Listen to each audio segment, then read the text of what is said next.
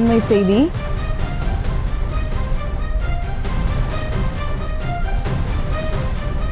விஜய் மக்கள் இயக்க நிர்வாகிகளிடம் வெற்று பத்திரத்தில் கையெழுத்து பெற்றதாக தகவலானது வெளியாகியிருக்கிறது. ரூபாய் இருபது வெற்று பத்திரத்தில் மக்கள் இயக்க நிர்வாகிகளிடம் கையெழுத்து பெற்றதாக தகவலானது வெளியாகியிருக்கிறது. அண்மை செய்தியாக பார்த்து வருகிறோம்.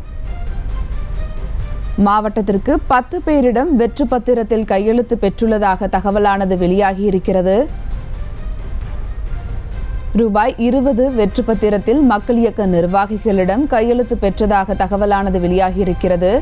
மாவட்டத்திற்கு பத்து பேரிடம் வெற்று பத்திரத்தில் கையெழுத்து பெற்றுள்ளதாக தகவலானது வெளியாகியிருக்கிறது. அண்மை செய்தியாக பார்த்து வருகிறோம். விஜய் மக்கள் இயக்க நிர்வாகிகளிடம் வெற்று பத்திரத்தில் கையெழுத்து பெற்றதாக தகவலானது வெளியாகியிருக்கிறது. இது குறித்த கூடுதல் விவரங்களோடு இணைகிறார் எமது செய்தியாளர் ஜெபர்சன். வணக்கம் ஜெபர்சன். விவரங்கள்.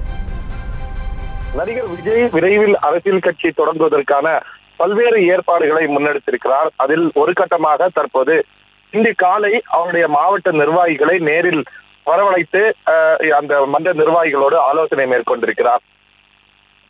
அவர்களிடம் ஆலோசனை மேற்கொண்ட நடிகர் விஜய் தொடர்ந்து அவர்களிடம் இருந்து ஒரு மாவட்டத்திற்கு பத்து பேர் என தேர்ந்தெடுத்து முக்கிய நிர்வாகிகளிடம் இருபது ரூபாய் வெற்றி பத்திரத்துல அவர்களிடம் கையெழுத்து பெற்றிருக்கிறார். தொடர்ந்து இது அரசியல் கட்சியை தேர்தல் ஆணையத்தில் பதிவு செய்வதற்கான முயற்சியாக இருக்கும் என்று கூறப்படுகிறது. இந்த நிலையில்தான் ஒரு மாவட்டத்திற்கு பத்து பேர் வீதம் நூற்றுக்கு மேற்பட்டவரிடம் இது போன்று கையெழுத்து பெறக்கூடிய பணி தொடர்ந்து நடைபெற்று வருகிறது.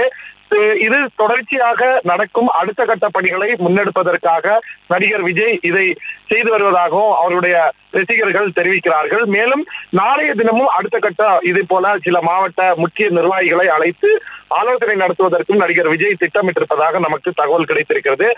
இது தொடர்ந்து இன்னும் ஒரு மாத காலத்திற்குள்ளாக அரசியல் கட்சியை தேர்ந்து அரசியல் கட்சியை தொடங்கி அந்த கட்சிக்கு என்ன பெயர் வைப்பது அந்த கட்சிக்கு என்ன சின்னம் தேவை ஒதுக்குவது வந்து அந்த சின்னத்தில் போட்டியிடுவது வரக்கூடிய தேர்தலில் போட்டியிடுவதா என்பதெல்லாம் குறித்து ஆலோசனை மேற்கொள்வதற்காகத்தான் தொடர் தொடர்ச்சியாக ஆலோசனைகளை மேற்கொள்வதற்கு நடிகர் விஜய் நேரம் ஒதுக்கி- இருப்பதாகவும் சொல்லப்படுகிறது.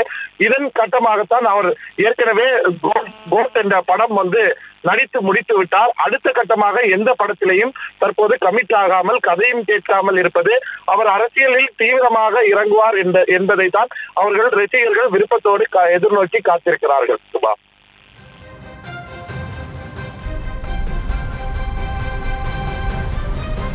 விவரங்களுக்கு நன்றி ஜெபர்சன். செய்திகளை உடனுக்குடனும் துல்லியமாகவும் தெரிந்து கொள்ள சப்ஸ்கிரைப் பண்ணுங்க.